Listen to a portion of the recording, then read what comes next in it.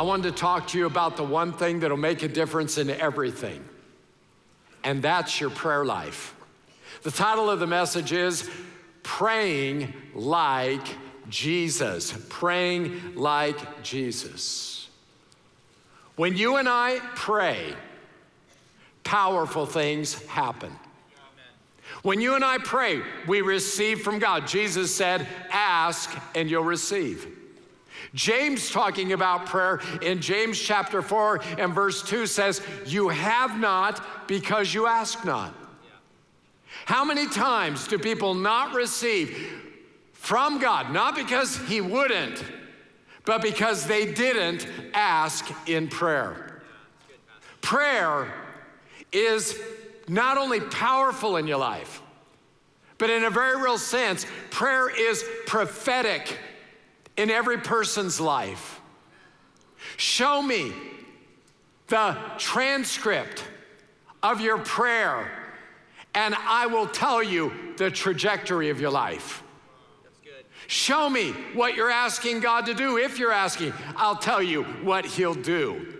That's why prayer is so important. If you and I want to live a power filled life, if you want to see God work in your life, if you want to see the miraculous happen, if you want to see the hand of God on your life, if you want to see the hand of the Lord on the lives of your family members, if you want to see God go before you, then all of it begins with prayer. So, in the next few moments, what I want to do is I want to talk to you about six principles. I want to give you six principles for a powerful life or a power filled life. So we're going to jump right into this. I'm going to give you the first one right now. All of these are from Luke chapter 11, verses 1 through 13. The goal is not so much to exposit every single verse, part of it is the Lord's Prayer, but to simply extrapolate from this passage six principles that will encourage you and I in our prayer life, help us to grow, and help us hopefully to pray. Number one, powerful prayer is the source of a power filled life. Powerful prayer. If you want a power filled life, then be a person who prays powerfully. And we see that in the life of Jesus. Look at it in Luke chapter 11, verse 1. Now, Jesus was praying in a certain place. And when he finished, one of his disciples said to him, Lord, teach us to pray.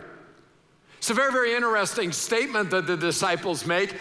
Because honestly, think of what they've seen. They've seen him open the eyes of the blind.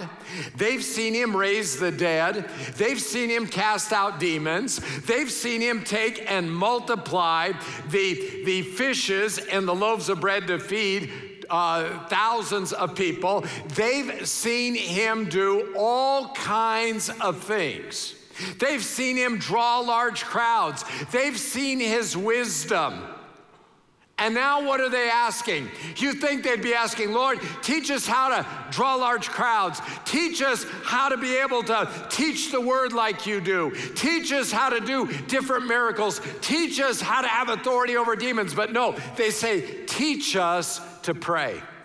The thing they understood about him as they walked with him, as they watched him, is it became obvious to, to them that the secret to everything else he did was his prayer life.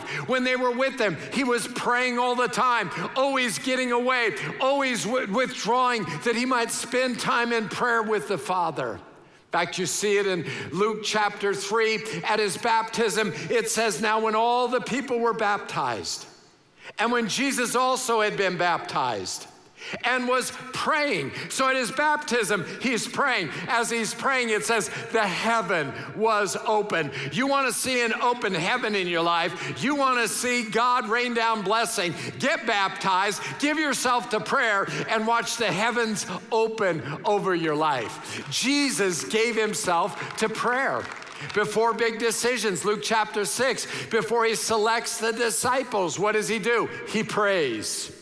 Sometimes you and I face decisions. We don't know the right thing to do. We're not sure. It's not clear. It's not obvious. We need to pray. Some of you have come into this new year and you know you're going to be making some big decisions which job to take, which school to go to, which house to buy, which, which person to marry. You need to pray. Look at this. Now, when all the people, Luke chapter 6, in those days he went out to the mountain to pray, and all night he continued in prayer to God. He prayed, he sought God, spent an all night time in prayer. As the crowds began to follow him and they got larger and larger, what did he do? He prayed. Luke chapter 5 says, But he would withdraw to desolate places and he would pray, seeking the Lord. It says this in Luke chapter 9 and verse 18. He's getting ready to reveal his identity. Now it happened that as he was praying alone, the disciples were with him, and he asked them, Who do the crowd say that I am? If you want people to see Jesus' identity, pray. Pray for them. Pray that Christ might be exposed to them. If you want people to see Christ in you, pray. Look at it in Luke chapter 9. It says this in verse 29 As he was praying, the appearance of his face was altered, and his clothing became dazzling white. The glory on the inside became evident on the outside. When did that happen? It happened as he prayed. If you want the glory of God that's in you to shine on the outside, then give yourself to prayer. Prayer is the key to a power filled life. Jesus prayed all the time. That's why Mark says in Mark chapter 1 and verse 35 and rising very early in the morning while it was still dark, he departed and went out to a desolate place and there he prayed. Jesus gave himself to prayer. And I'm just simply saying, as we start this year, if you give yourself, if you cultivate that habit, if you get up a little bit early, if you say, I'm going to seek the Lord, you will see Him do amazing things in your life.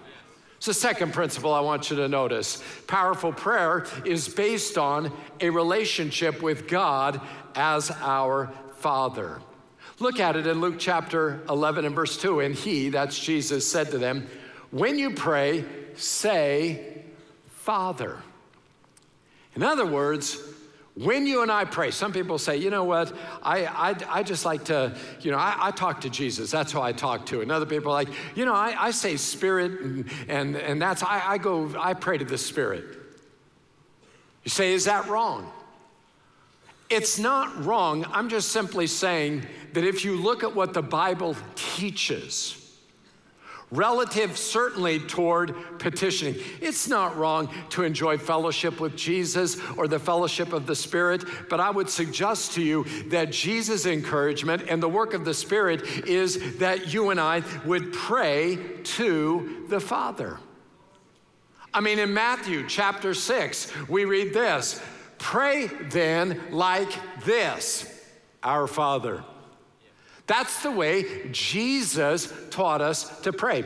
In John's gospel, we read this. This is at the Last Supper, so he's given the disciples some last minute instructions, if you will. In that day, you'll ask nothing of me. So he's saying, You're not going to be asking me to do things. What day? When he's gone. We're in that day now. We're not asking Him to do things. Truly, I say, whatever you ask of the Father in my name. In other words, Father, I come to you in the name of Jesus. Father, I come because I know this is what Jesus would want.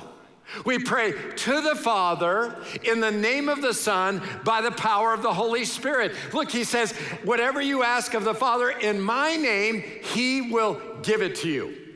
Until now, you've asked nothing in my name. Ask and you'll receive that your joy may be full. What a great promise from Scripture that if we ask, we will receive.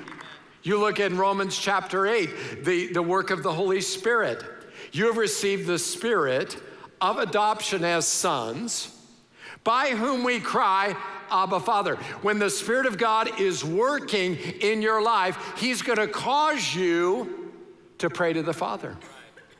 You see it again in Galatians chapter 4. And because you are sons, God has sent the Spirit of His Son into our hearts, crying, Abba, Father. That, that the Spirit of God causes us to see ourselves as children of God. And this is really critical. In this teaching on prayer. In Luke chapter 11, in, verse verse 2 and in verse 13 it's the passage is bookended if you will with father. Look at it in verse 13 if then you who are evil know how to give good gifts to your children how much more will the heavenly father give the holy spirit to those who ask him what Jesus is telling us about prayer, what he has to say about prayer is it begins with talking to the Father and it ends with receiving from the Father. Do you catch that? And it's really critical how we view that. It's important that you and I see God as our Father because that is the paradigm, that is the basis of how prayer is to work in the life of the believer. Because here's what happens. If you don't see God as Father, you'll see Him as something else, and it will cause you to have a warped prayer life. You say, what do you mean? Well, if you don't see him as father, well, a lot of people, a lot of people don't see God as father, they see him as employer. You say, what do you mean? Well, they go and they say, God, I need you to do this. And then if it doesn't happen, they're like, God, I worked for you. I, I did this. I, I went to church. I was in a life group. I went through Grow Track. I, I gave money. I was nice to this person. God, I did all these things. Now you owe me. I worked for you. You're my employer. You owe me. Or people will view God as a computer. You say, what do you mean? Well, when you input something in the computer, once it's there, it's there, right? You don't have to keep inputting it. Some people view prayer, they, they view prayer this way, and they view God like a computer. It's like, well, I told him once. Because they don't see him as a father and they don't see themselves as his child, what happens is they, they don't understand the relational aspect of prayer. And Jesus is going to tell us a parable that illustrates that. But if you don't understand that, you'll say, Well, I told him and I haven't received. I don't know. Prayer doesn't work. But God is our Father. That's the basis of powerful prayer and a power filled life. Or if, if you don't see him as your father, what happens? A lot of people see him as a genie. You know, rub the lamp prayers where you rub the lamp and you get the three wishes. Genie comes out and says, What is your wish? Or your wish is my command. People say, you know, I, I, don't get it. I asked it, it didn't happen. How come? Prayer doesn't work. Because, see, they see God as a genie, not as their father. You see, when you see God as your father and you see yourself as a child, here's one thing I know about children children understand that big people do a lot of things they don't understand. They just accept it. They don't, they don't, they don't, they're not suspicious about it. They're not worked up about it. They're just saying, you know what, sometimes big people don't do what I ask them to do. And it's a good thing, right? When you see God as your father, it changes how you respond in prayer.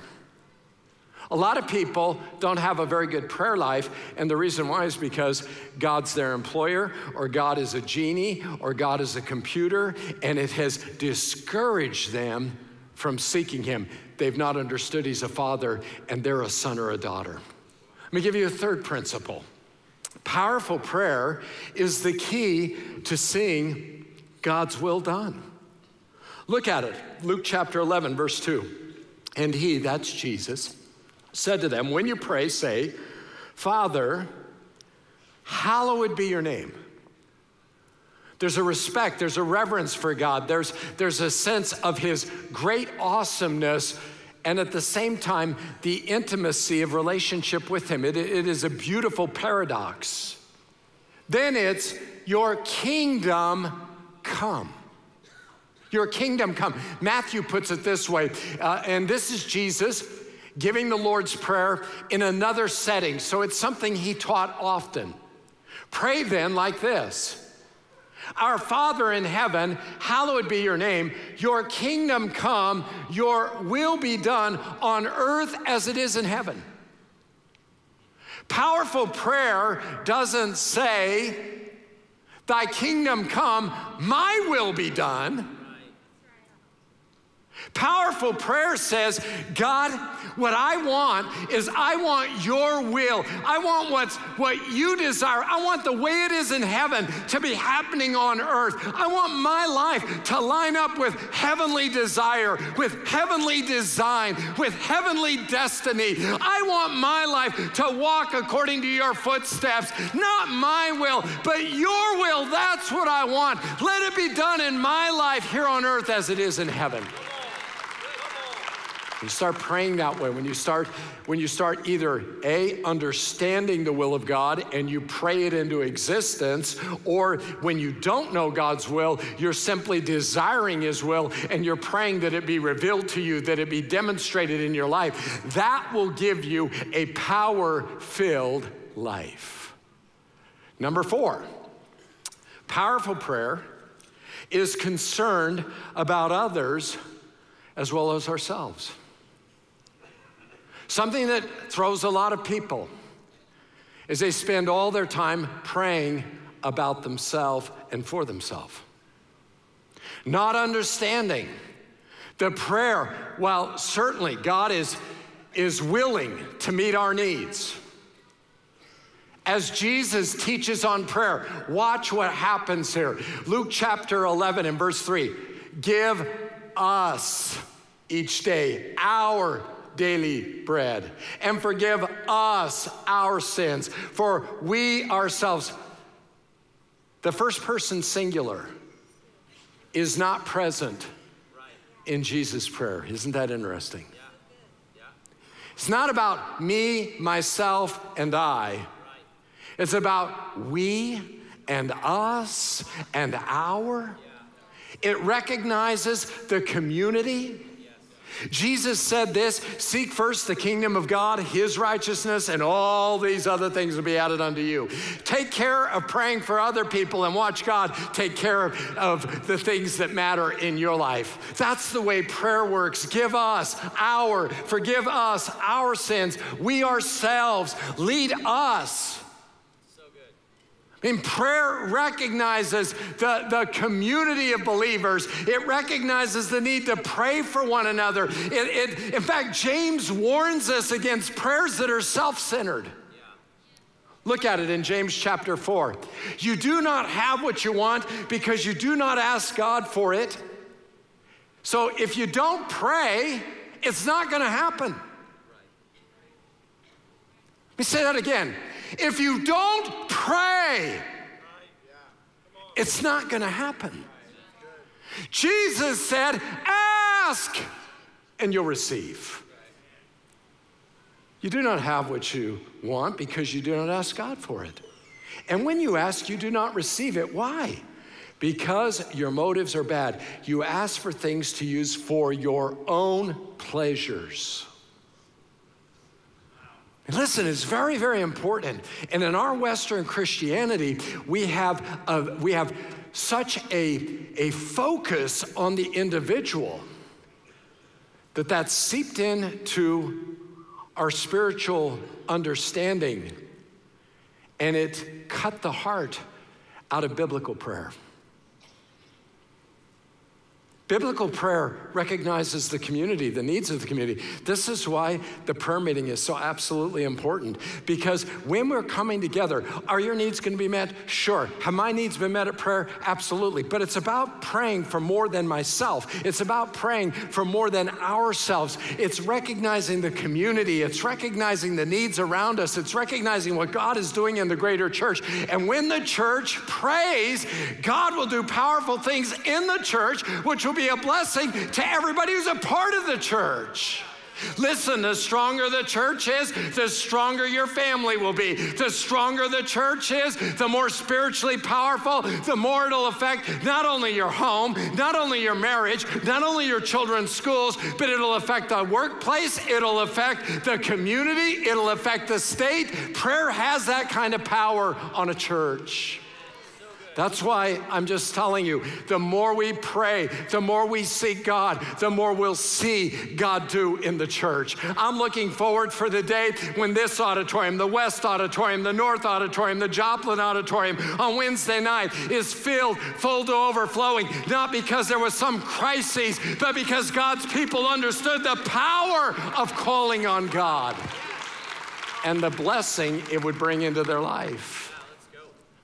I mean, listen to what Charles Spurgeon said. And I'm going to give you a few quotes because Spurgeon, one of the great preachers in the history of Christianity, in the 1800s, began preaching when he was 19 years old. By age 25, the church had grown. They had to build a new building to seat 6,000. And the day before mega churches, an auditorium that seated 6,000 people would line up outside to hear him preach. What was the secret to Spurgeon's church, the prayer meeting. Listen to what he says. The condition of the church may be very accurately gauged by its prayer meetings. So is the prayer meeting a graceometer. And from it, we may judge of the amount of divine working among a people. In other words, as you and I pray, God works in an extra measure. In the last 19 years since we started the prayer meeting, I have seen it work with scientific precision. When the church prays well, the church is powerful. When the church becomes lethargic in prayer, then you see the church become lethargic in ministry. You look at last fall, we started in the summer that fasting and prayer, and people were at the prayer meeting so much so we opened the curtain. You look back on the services in the fall what we saw God do. It was amazing. As the prayer meeting goes, so goes the church. Listen to this. If God be near a church, it must pray. And if he be not there, one of the first tokens of his absence will be a slothfulness in prayer. Spurgeon went on to say this Believe me, if a church does not pray, it is dead. It may have activity, it may have meetings, it may be doing different things, but if it wants to have spiritual power, it has to pray. Listen, straight up, what you're sitting in, what you're seeing, speaks to the truth of this. 1998, we started the prayer meeting, and I'm gonna tell you what, if, if, if I brought up charts and graphs, you would see from the day the church started to pray exponentially, exponentially more salvations, more baptisms, more influence, more power. The church is, how do you explain a church like this in a little town like Springfield with multi site? Look around you. I mean, the place is full of people. Awesome. As soon as James River began to pray, powerful things happen. This building is a miracle from the throne of grace. The land up on the on the east where we will have, Lord willing, a north or an east campus. That is, a, that is a gift from the Lord. The North Campus is a gift from the Lord. The West Campus, stories abound of the church praying and God answering. When we pray, supernaturally powerful things happen that wouldn't happen any other way. One last quote it is not a matter of time so much as a matter of heart. If you have the heart to pray, you will find the time to pray. People say, I'm so busy. It's, it's not a matter of time, it's a matter of heart. I understand some people have to work. I'm not shaming you if you have a job. I'm just simply saying that when you invest yourself in spending time by yourself, certainly you can pray at your home, and, but that's not the same as praying with the church.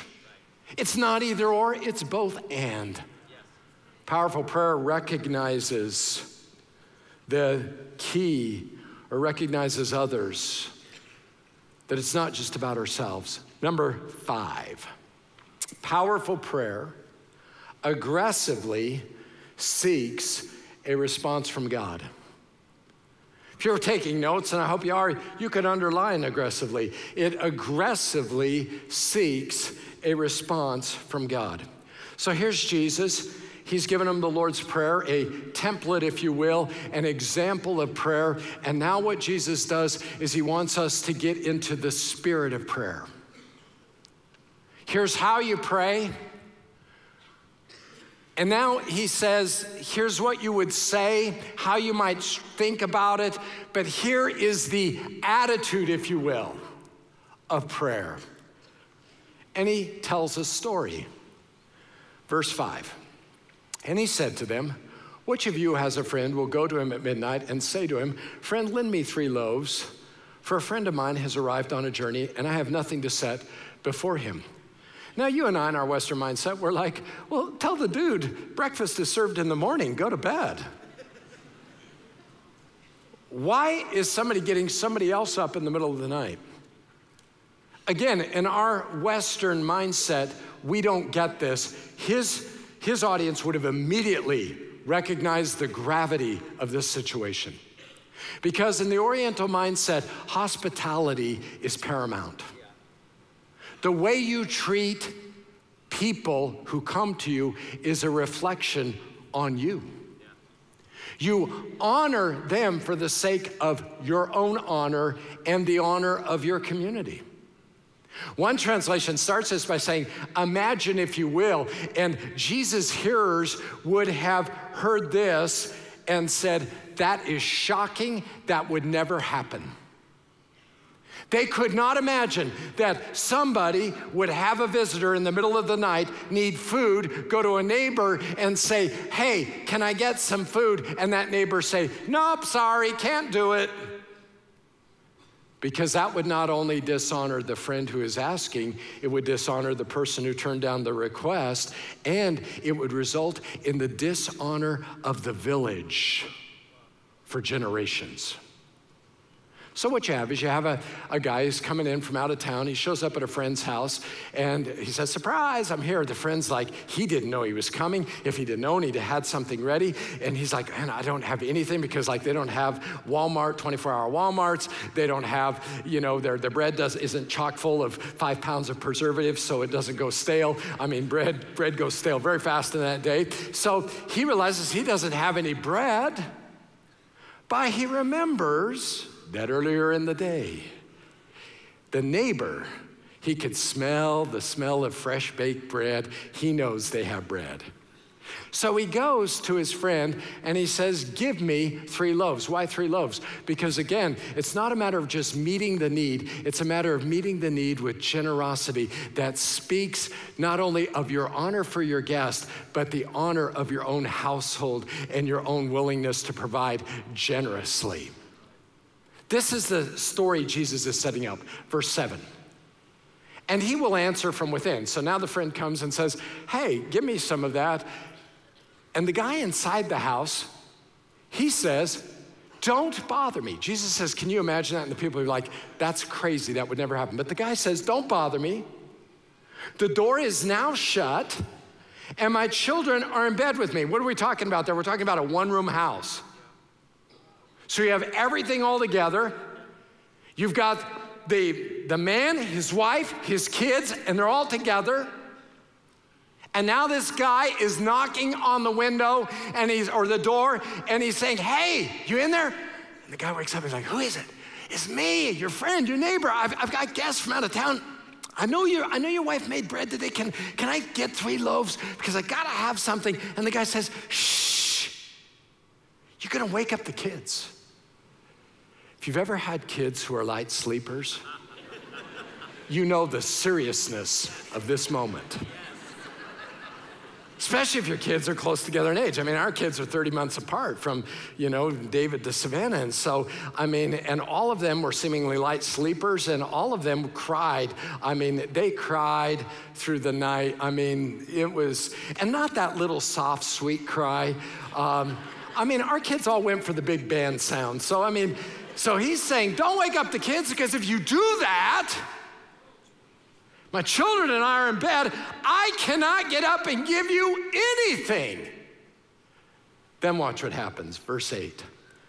Jesus says, I tell you, though he will not get up and give him anything because he is his friend, yet because of his impudence, he will rise and give him whatever he needs. Impudence.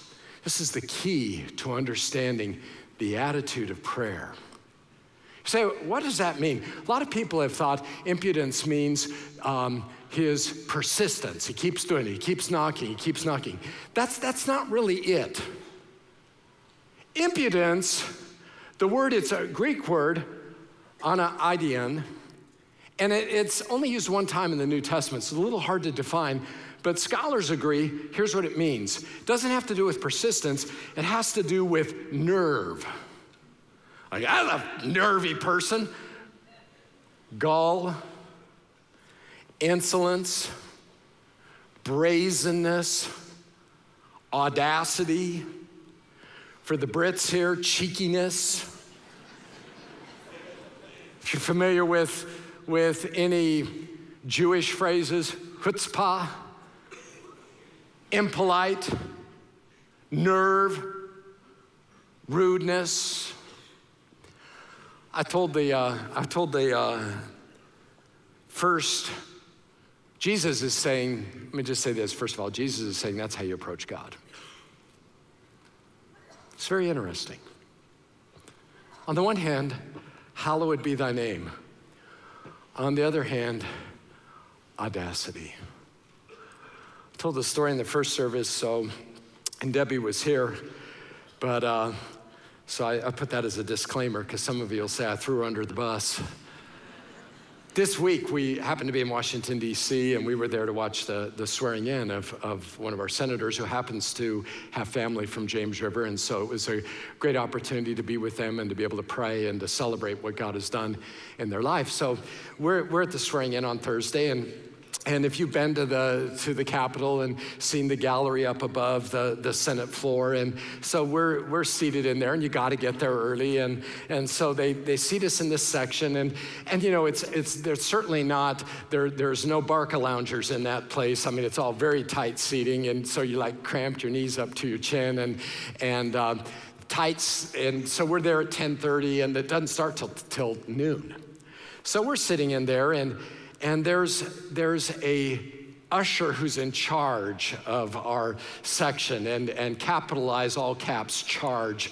Um, this, this was one of those guys, bless his heart, who should never be given one ounce of authority ever, um, but has all the authority in that moment. So, you know, so we're sitting in there and we're watching the dude, and like he's going up to the ladies that are in front of us, and they're just talking just quietly, and he comes over and says, No talking. And I mean, so it's this kind of thing. I mean, like an hour before the ceremony, like who's it hurting? A guy stands up, and, and an older gentleman, and um, he's like, sit down. You know, so it's, it's just that kind of thing going on. And you're like, he's got everybody in the section very intimidated. So we go through the, we go through the event, and as we're, as we're there and watching everything, it's over now, and people are gradually starting to leave. And so some people in our section start to get up. He's like, sit down. So, I mean, so everybody's like, sitting down and he's, he's just got everybody intimidated. But we're watching some people are, are leaving. And now, you know, it's 1.30. So like the thing's long over and, and we've been there now three hours. And Debbie says to me, I'm leaving. And she gets up and she makes her way over to this in charge guy. And I mean, I'm thinking, as she's going, I'm thinking, oh, this is great. I mean, we're going to be on CNN. Demonic yoga pastor's wife is arrested. You know, it's, it's.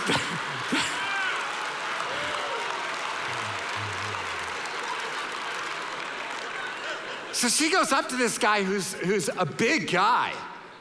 And she says, Sir, I'm leaving. Gall, audacity, nerve, cheekiness. And he looks at her and he says, There's a chair right by him. Sit down. So she sits down. And I'm watching this and I'm thinking, she's on the naughty chair. Ha ha ha ha. And she looks at me and I'm like, like that. And she, no sooner does she do that than she stands back up and she says, with all of the gall, brazenness, chutzpah, nerve, and rudeness, she says, Sir, I am leaving and so are my friends. And she points to my three friends. And so he's like, well, okay, like that. So all of a sudden, we start walking out, but then everybody else in the gallery, they're going out. And when we get out of there, they're all thanking Debbie. Debbie's in the hallway, has a receiving line. They're all like,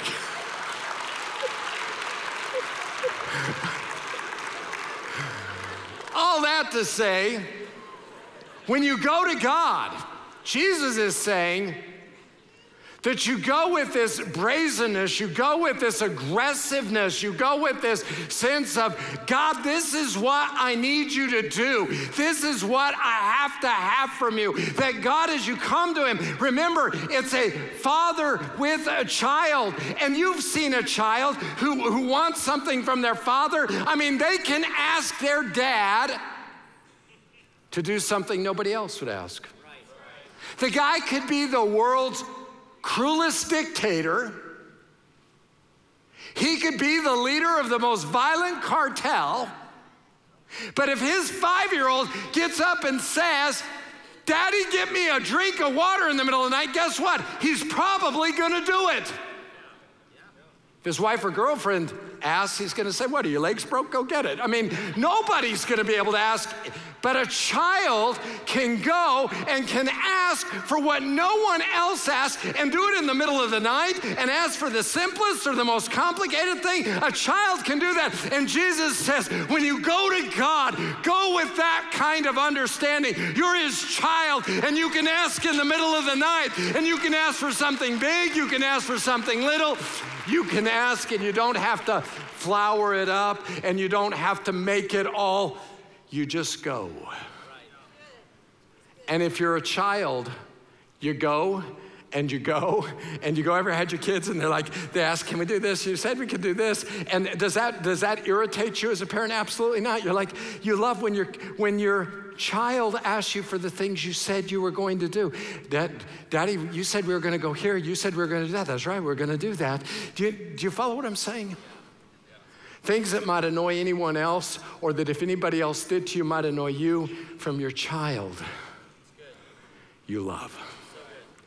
Jesus says that's how that works. There's another way to look at this word. It can also be translated shamelessness. In this, in that understanding, it would be this Jesus is saying, Can you imagine a friend needing something and going to the guy and the guy saying, Don't bother me? Can you imagine him ultimately saying no, the, the guy who has the bread ultimately saying no? And their answer would have been, That would never happen. Because his family honor and the honor of the village is at stake. You say, which, which interpretation is right? I want to suggest to you both of them.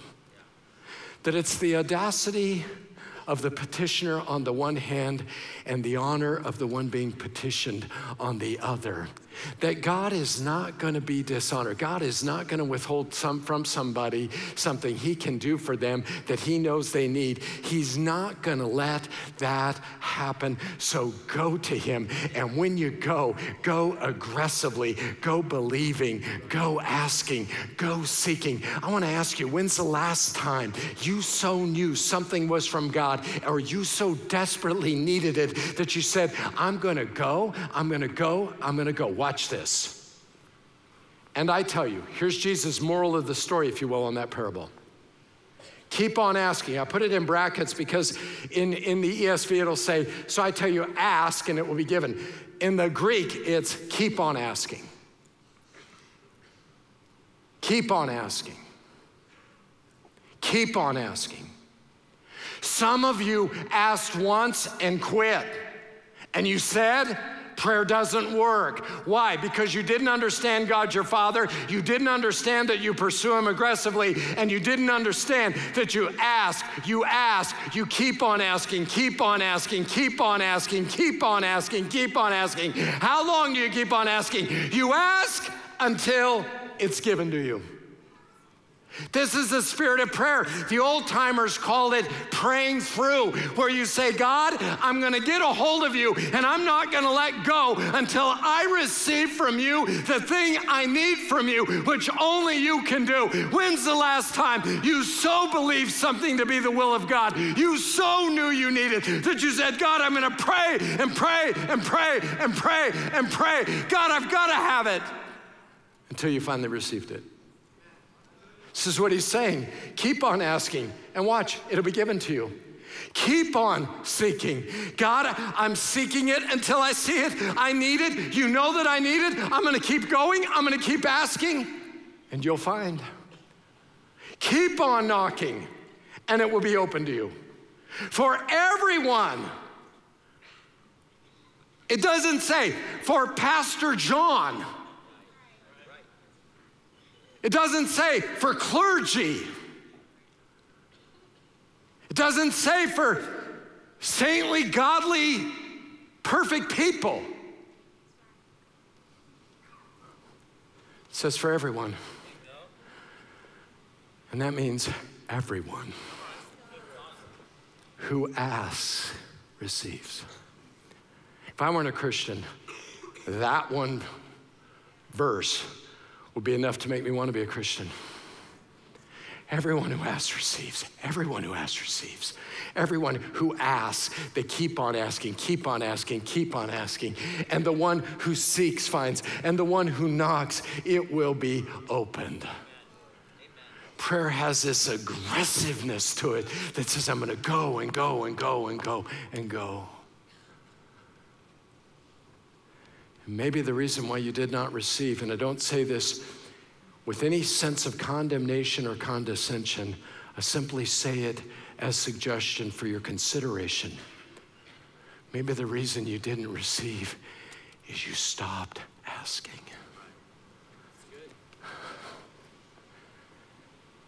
The fact you didn't get it had nothing to do with God's will or his inability. It had to do with you didn't keep asking. So, prayer, powerful prayer, aggressively seeks a response from God. Philip Brooks put this prayer is not overcoming God's reluctance, it's laying hold of his willingness. It's not that, it's not that God is reluctant.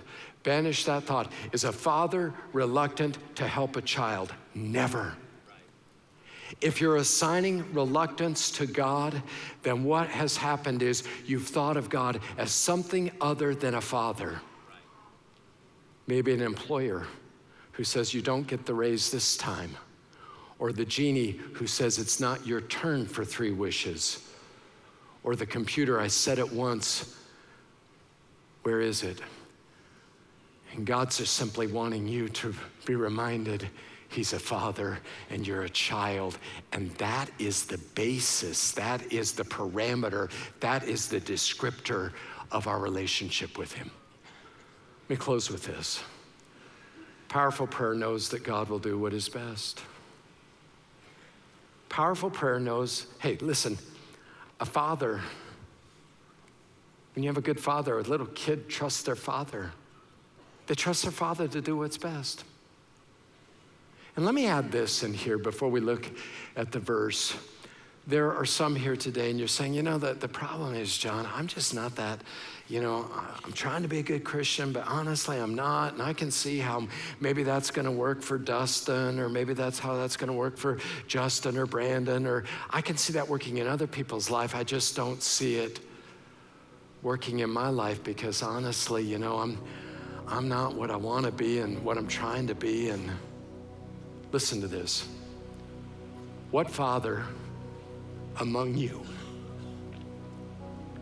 if his son asks for a fish, will instead of a fish give him a serpent? Or if he asks for an egg, will give him a scorpion? Fathers do good things. That's just true, isn't it? I mean, I watch my grandkids at Christmas when they're opening presents. They weren't like, I don't know what's in there. You know, I don't know, is there going to be a boa constrictor? I mean, they're not, they're not thinking that. They can't wait. Why? because they know their mom and dad are givers of good gifts, safe gifts. Now, watch this. If you then, who are evil, there's some of you, and, and you know, who's he talking about? He's talking to the disciples. God recognizes our frailty. Some of you have the wrong view of prayer that somehow you have to be perfect before you can pray and receive from God. And so you don't pray, and the devil loves it. If you who are evil know how to give good gifts to your children, how much more will the Heavenly Father give? I mean, I try to be a good dad to my kids, but there's no way I'd be a better dad than God. How much more? Watch this. Will the Heavenly Father give the Holy Spirit to those who ask Him? There's a lot we could say on that, but I'm going to just say this about it. That is a sign of His incredible generosity. You say, What do you mean? You asked for help, and He gave you the helper. You asked for the gift, and He gave you the giver. You asked for a loan, and He gave you the bank. That's the gracious goodness of our God. And that's why you just frankly need to go to Him as your loving Heavenly Father who wants to do more in your life than you could begin to imagine and will if you'll ask. Ask and you'll receive. Seek and you'll find. Knock and the door will be opened unto you.